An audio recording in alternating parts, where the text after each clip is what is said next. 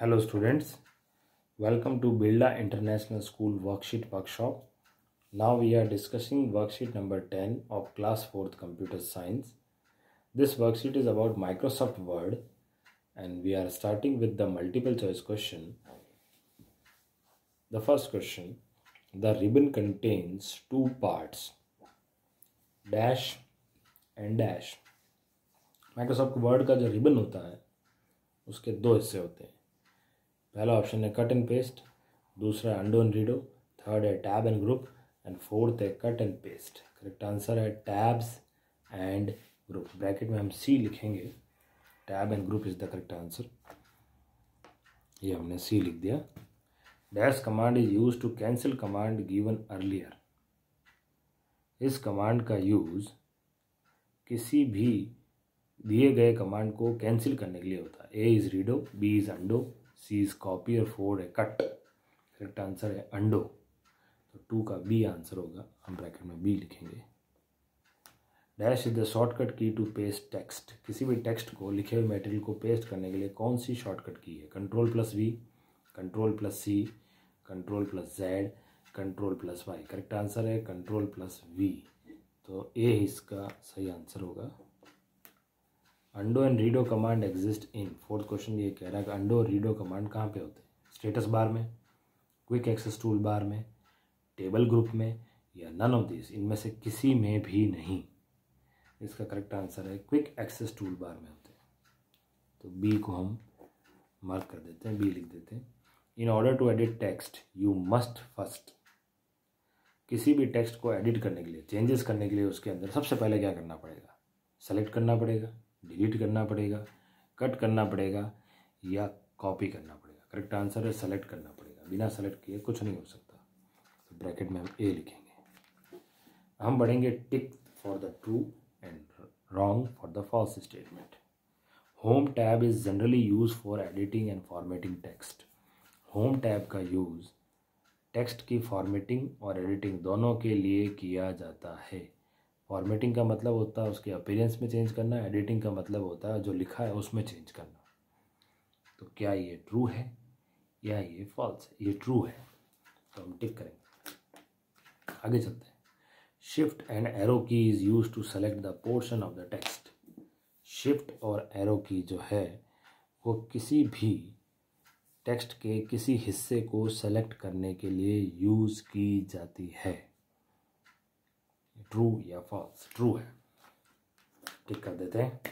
Control Z is the shortcut key to redo command control Z redo command की shortcut key है। False या undo command की है। Cross कर देते हैं। आगे चलते हैं। The table is made of letter and text एक टेबल लेटर्स और टेक्स्ट लिखे हुए मटेरियल और अक्षरों और सेंटेंसेस की बनी होती है। ट्रू या फॉल्स फॉल्स है। टेबल जो है वो रो एंड कॉलम की बनी हुई होती है। फिफ्थ में चलते हैं। Shifting is done by using cut and paste command shifting का कार्य, एक जगह से दूसरी जगह ले जाने का काम कट और पेस्ट कमांड के द्वारा किया जाता है। ट्रू या फॉल्स ट्रू है। हम टिक करेंगे।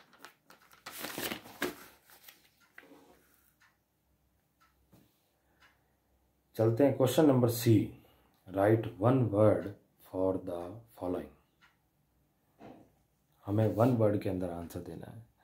I am a word processing application software मैं वर्ड प्रोसेसिंग एप्लीकेशन सॉफ्टवेयर हूँ। मेरा नाम क्या है? नाम है माइक्रोसॉफ्ट वर्ड तो हम लिखेंगे M I C R O S O F T Microsoft और W O R D word second question in order to select an single word we use किसी भी एक अकेले अक्षर को सेलेक्ट करने के लिए हम माउस से कितनी बार क्लिक करेंगे? आंसर है double click D O U B L E double और सी एल आई सी के double click third question I am use to cancel a command given earlier मेरा यूज़ किसी भी कमांड को कैंसिल करने के लिए किया जाता है। मैं कौन? हूँ मेरा नाम है undo. U N D O और I am consisting of rows and column मैं रो और कॉलम से मिलके बना हूँ, मैं कौन हूँ? मैं हूँ table T A B L E table fifth question I represent the grammatical errors मेरा यूज़ ग्रामेटिकल व्याकरण की गलतियों को दिखाने के लिए किया जाता है। कौन हूँ मैं? मैं हूँ ग्रीन लाइन ग्रीन लाइन से ग्रामेटिकल मिस्टेक्स दिखाई जाती है और रेड लाइन से स्पेलिंग मिस्टेक तो हम यहाँ लिख देते हैं। Green G R double N green और L I N E line अब आगे है अरेंज द स्टेप्स यहाँ पे कुछ स्टेप्स दिए हुए हैं। हमें ये बताना है कि ये जो स्टेप्स दिए हैं, इनमें से इनको सही ऑर्डर में अरेंज करके इस पर्टिकुलर प्रोसीजर को कंप्लीट करना है। पहला प्रोसीजर है steps for cut and paste आपको एक टेक्स्ट सेलेक्ट करना है और पेस्ट करना है। तो इसके लिए प्रोसीजर क्या होगा? इसका प्रोसीजर जो है, हम सीधा प्रोसीजर पे ही आ रहे हैं। इसका करेक्ट आंसर जो है, वो सी है। पहले हम ब्रैकेट में सी लिख देते हैं। अब इसको समझते हैं। पहला काम है फोर्थ वाला ऑप्शन करना। Select the text you want to move आप सबसे पहले उस टेक्स्ट को सेलेक्ट कीजिए जिसे मूव करना चाहते हैं। फिर है click on the home tab फिर आप होम टैब में क्लिक कीजिए। पहला वाला ऑप्शन कीजिए।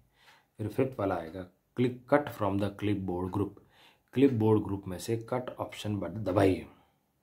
फिर सेकंड वाला move the cursor to the place where you want to paste your text अब आपने कर्सर को उस जगह ले जाइए जहाँ पर आप कट किए गए टेक्स्ट को पेस्ट करना चाहते हैं। जब आप चले जाते हैं तो last and final third step आएगा। Click paste from the clipboard group और वापस क्लिप बोर्ड ग्रुप में जाके पेस्ट बटन दबाना है और आपका कंटेंट एक लोकेशन से दूसरे लोकेशन पे चला जाएगा। सेकंड में भी यही एक प्रोसीजर है। कुछ स्टेप्स हैं और हमें बताना है कि क्या होगा। प्रोसीजर है inserting table in the M S Word M S Word के अंदर टेबल इंसर्ट करना ऐड करने का रास्ता क्या है? इसका करेक्ट आंसर डी है। पहले हम ब्रैकेट में डी लिख देते हैं। सबसे पहले सेकंड स्टेप होगा। क्लिक ऑन द इंसर्ट आप इंसर्ट टैब में क्लिक करेंगे। First click on the table from the tables group फिर टेबल्स ग्रुप में से टेबल ऑप्शन सेलेक्ट करना पड़ेगा। फिर थर्ड है select the number of columns and rows by drawing the mouse over the small boxes जैसे ही टेबल्स ग्रुप हम सेलेक्ट करते हैं, हमारे सामने बहुत सारे खाली बॉक्सेस आएँगे। हमें कितनी रो और कॉलम चाहिए? कंप्यूटर के माउस को मूव करते हुए ले जाना पड़ेगा तो total number of rows and columns बन जाएँगे और उतनी की उतनी टेबल एम एस वर्ड में इंसर्ट हो जाएगी। ये हमारी वर्कशीट थी। Thank you and happy learning